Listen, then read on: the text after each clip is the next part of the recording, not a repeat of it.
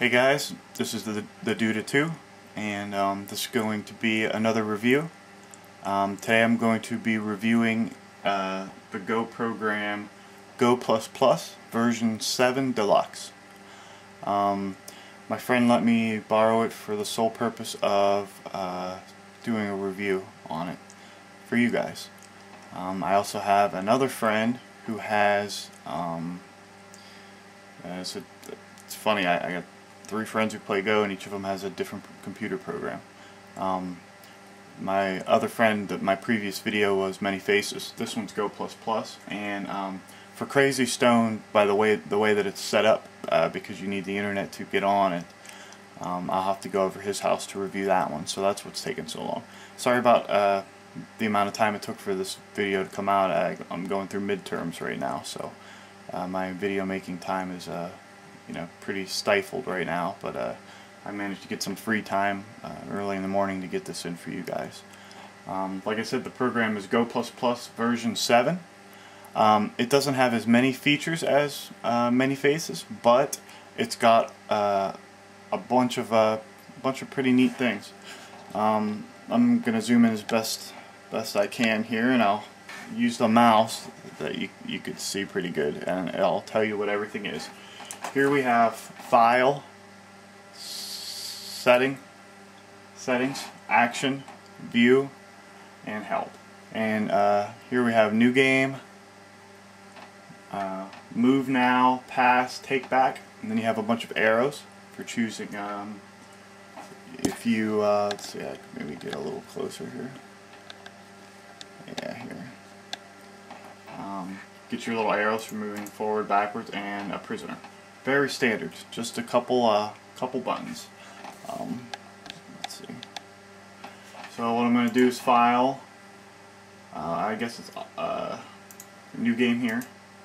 You could choose your color, black or white. Um, let's get you in a little closer if I can. Uh, board size 19 by 19, 13 by 13, 9 by 9. Handicap uh, 1 to 9.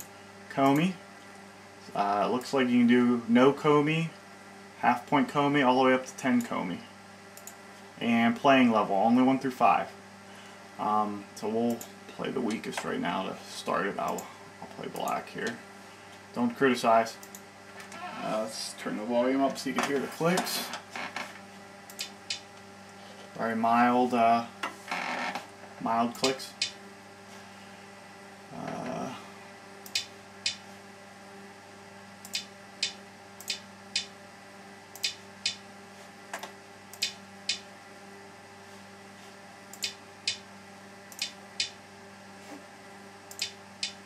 Pretty neat. It goes fast. One nice feature is if you noticed, you could see where the opponent is thinking. Let's play poorly here.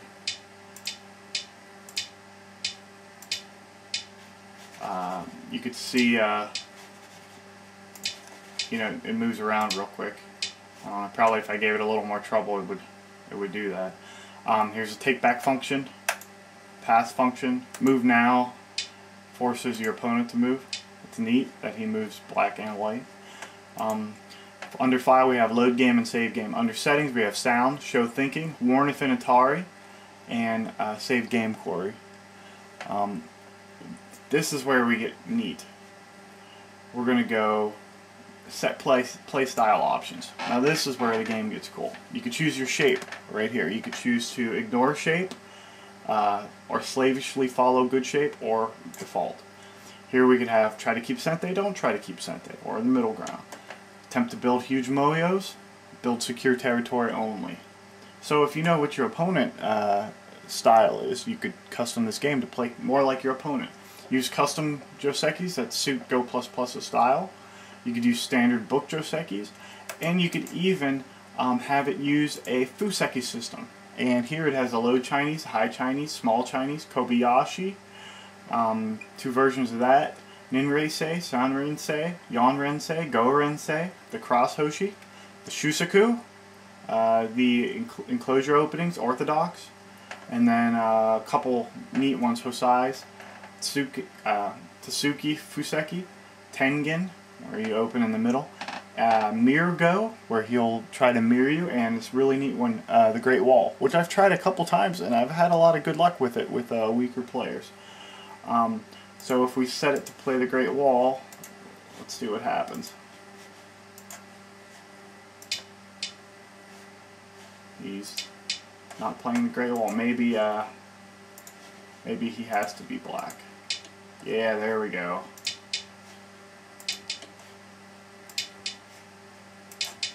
There's the Great Wall right there, classic. And he's doing his approaches.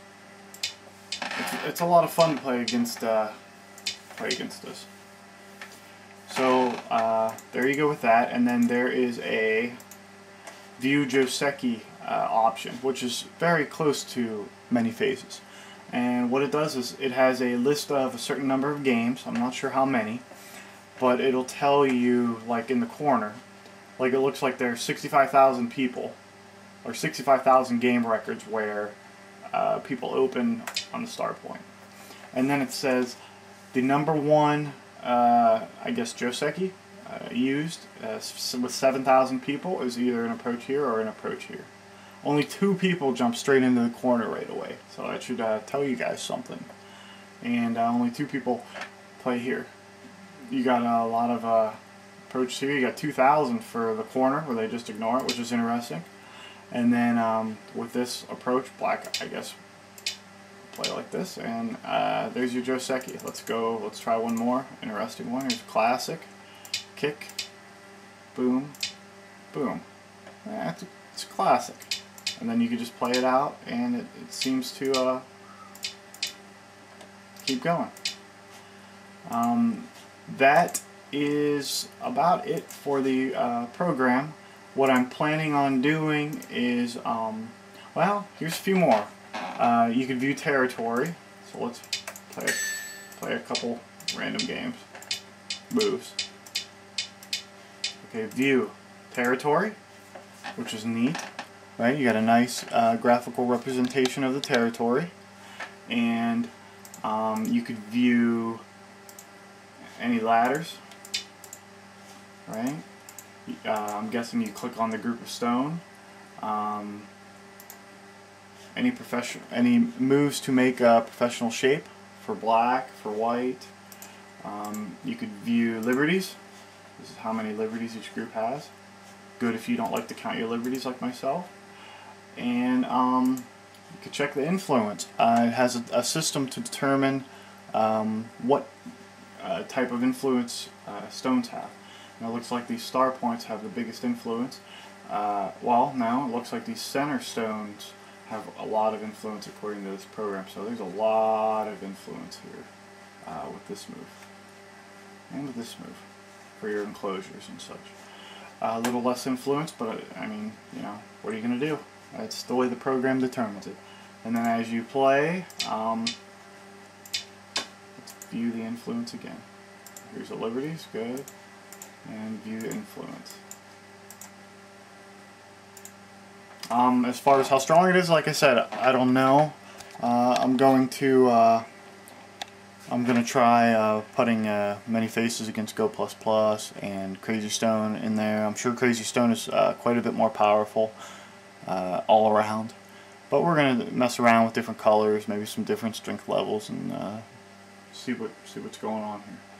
But this is pretty much it for Go++. Plus. How strong is it? Uh, not sure. It's stronger than me, and you know, it's got a lot of useful features, and I believe it's the cheapest of the, three that I'm uh, that I am gonna review, at least initially. Many Faces, Crazy Stone, and this Go++. Uh, I don't remember what my buddy said the price was, but it's easy enough to Google. Look it up. Um, that's going to be it for this video. Uh, hope you guys like it. I'm getting close to the 50 subscribers. I'm going to try to put out videos a little quicker now that my midterm's over, and uh, I'll struggle with the finals, and then I'll, uh, you know, pick it up again. Uh, any questions, comments? Uh, let me know. Sorry, I, I couldn't uh, do better with the uh, with the screen. Um, I'm not very tech savvy as far as recording on the computer, etc. So, you guys have a good day. Thanks for watching, and remember to subscribe. See you guys later.